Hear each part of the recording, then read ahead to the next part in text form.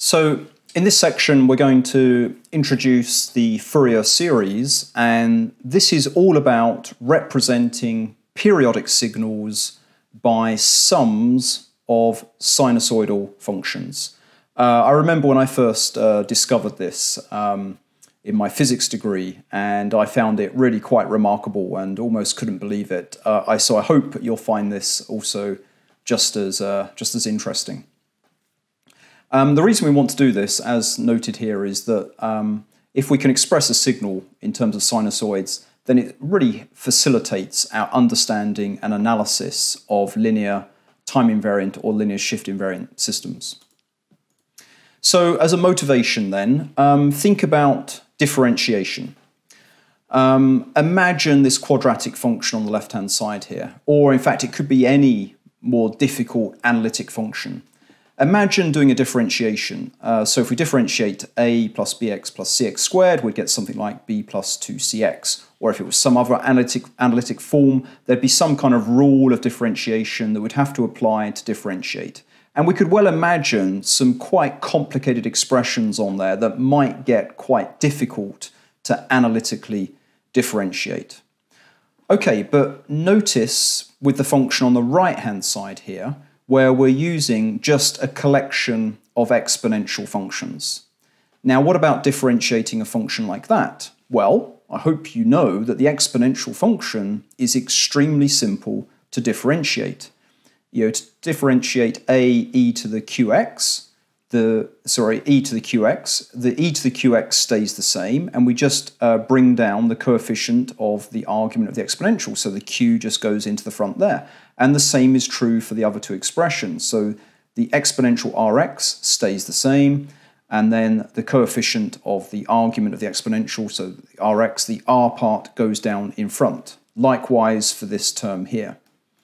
And then, so it's really easy to differentiate a second time. All of that stays the same, and we just again bring down that, that uh, coefficient, if you like, and so now it's q squared. So you could imagine that if I now asked you to do 100 um, differentiations of that function, you could quickly predict it's going to be q to the power of 100 a exponential qx plus r to the power of 100. You know, in other words, you can really see that, that differentiation becomes extremely simple if we're dealing with exponential functions rather than following other rules of differentiation, which could be quite complicated in general.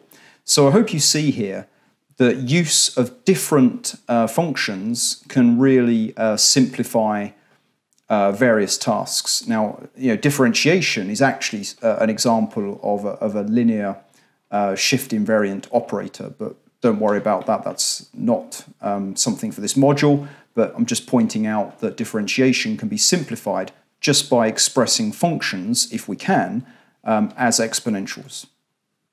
And so here I'm showing the third differential. You can see already the pattern that I mentioned is actually very simple.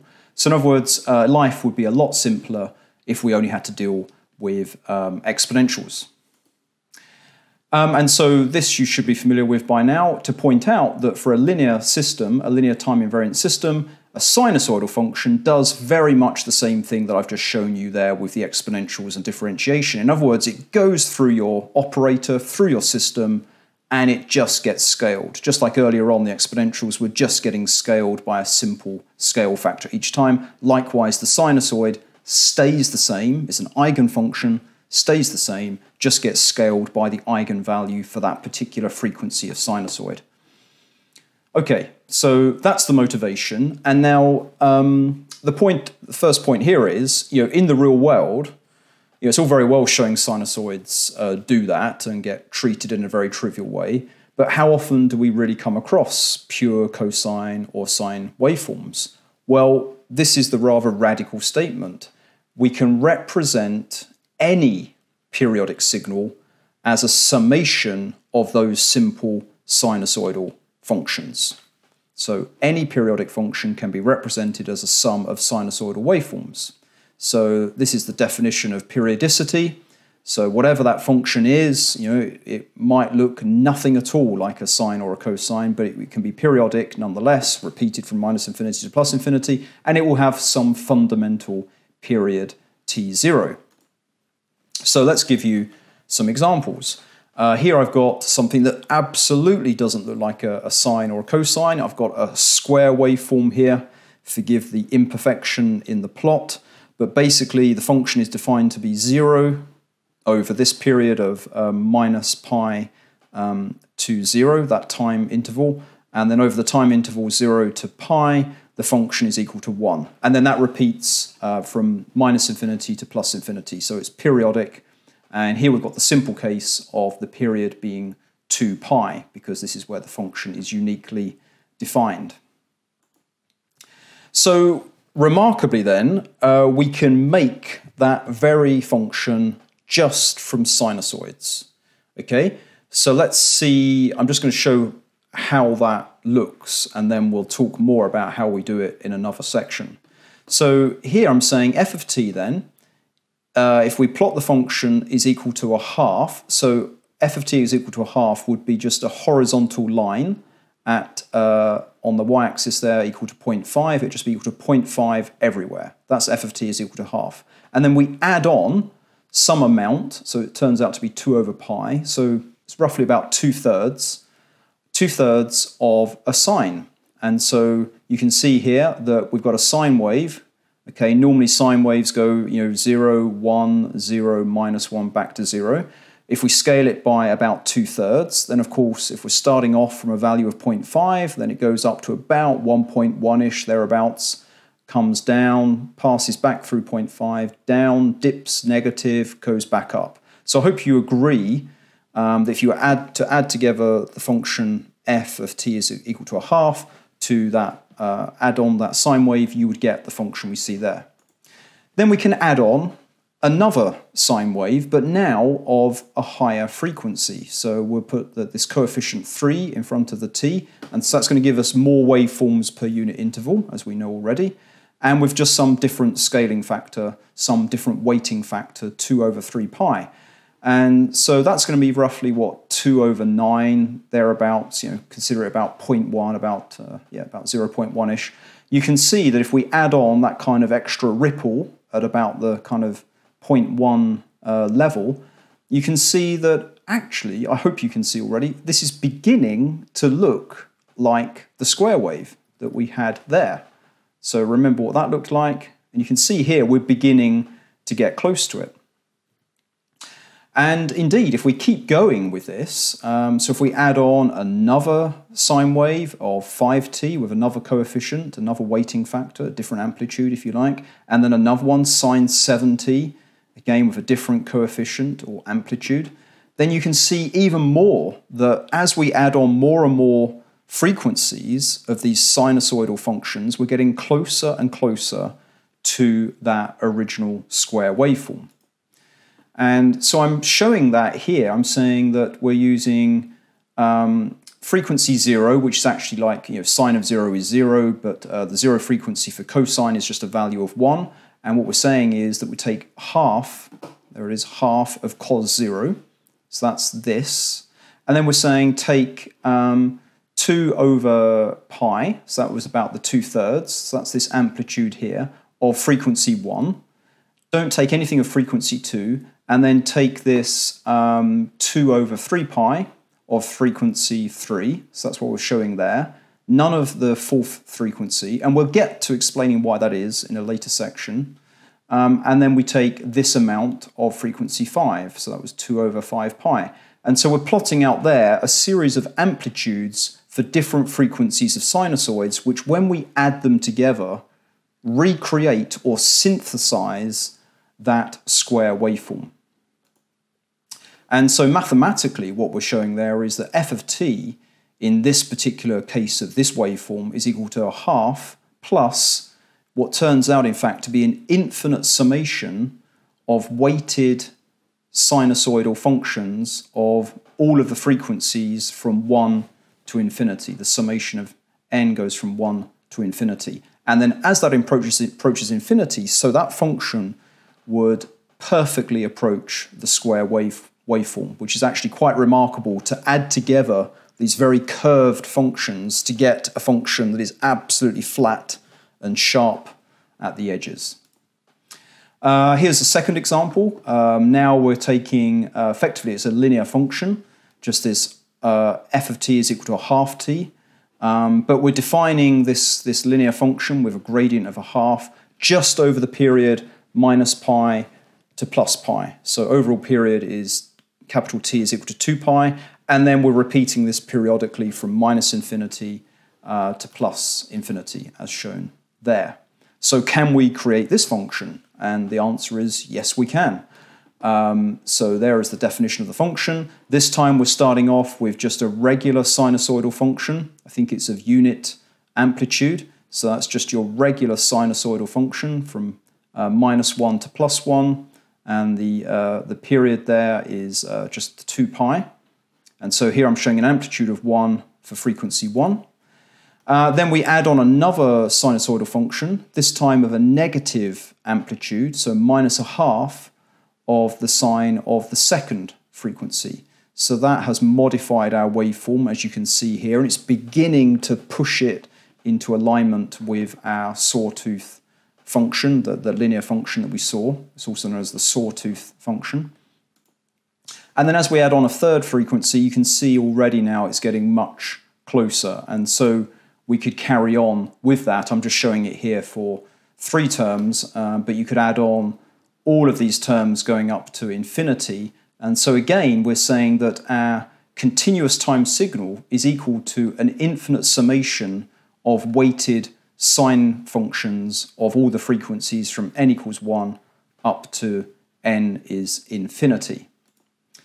Um, so there I've shown it uh, as amplitude as a function of frequency. But just to point out here, I could also have represented that as a magnitude um, and phase. Okay, so here the magnitude is just taking the absolute um, value of these uh, amplitudes. So in other words, you just take all of the, you just uh, take the absolute values here, and so you can see that all these therefore uh, become positive values, and we get this kind of decaying uh, set of um, magnitudes now. Um, but then we could also talk about the phase. And so here I'm assuming uh, that core cosine function that we've talked about before, because from that core cosine we can form sine functions. And so we know that if the first uh, term is just sine of t, um, then that means the phase of the cosine, cos t um, minus phi, um, to turn that into a, a sine, we're just going to need a phase phi of pi over 2 because that gives us t minus pi over 2. Um, and so that's an alternative representation where we can say um, that, uh, that this function f of t is just a weighted collection of sines, or indeed we could talk about phase shifted cosines um, as an alternative.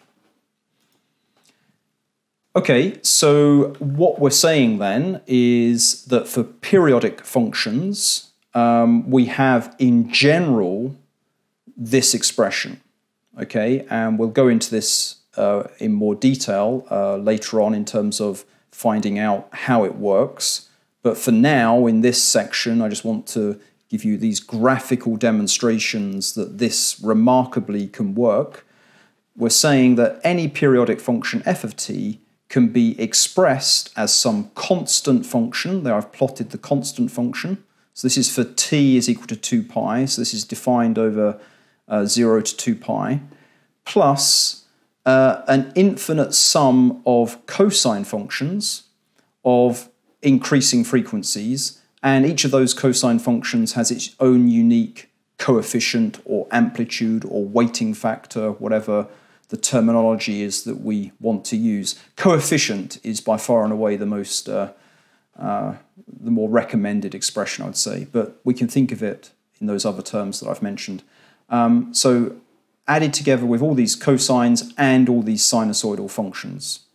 And uh, you'll find that if you add cosines and sines together, then this in effect is, is delivering a summation of variously phase shifted cosine functions. But we'll keep it simple and we'll just eliminate the phase consideration just by adding together cosines and sines, and then the various weighting between those two will effectively be giving us uh, just phase shifted cosines.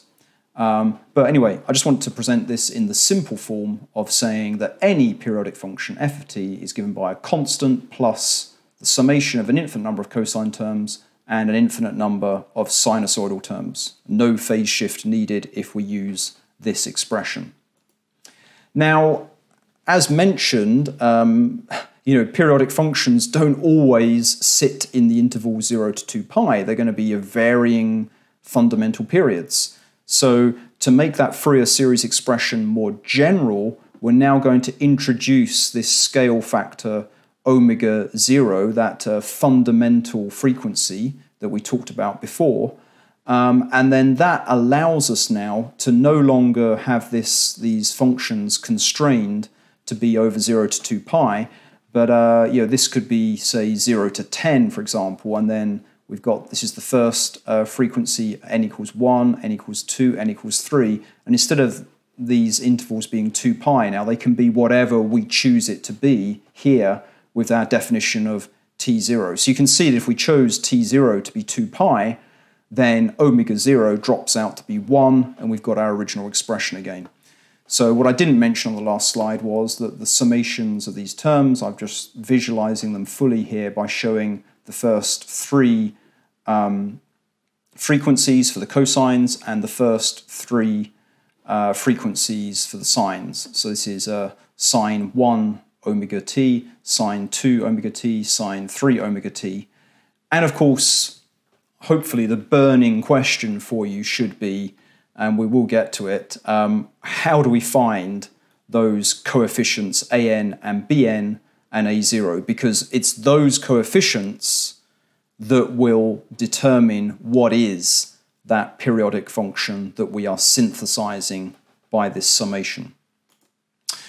Okay, so in review then, uh, sinusoidal functions, I hope you can appreciate, make life simple for linear shift invariant systems. They just uh, get scaled. So again, think of that differentiation example when you're dealing with exponential functions. The exponential function is your friend when it comes to differentiation. So likewise, sinusoidal functions are your friends when it comes to linear time invariant or linear shift invariant systems. They make your life much easier. Fourier series, as I've just kind of illustrated here, uh, I've just begun to introduce it, actually gives us permission to express any periodic signal as a summation of those simple sinusoidal functions. Um, okay, I've, so I've given you graphical examples of adding together sinusoids to make all kinds of different functions. And in gold text at the bottom here, I've mentioned what I hope you should be uh, asking yourselves, which is how much of each sinusoid do we use to synthesize or to reconstruct or to make a function? And so we'll be dealing with that in the next video. Thank you.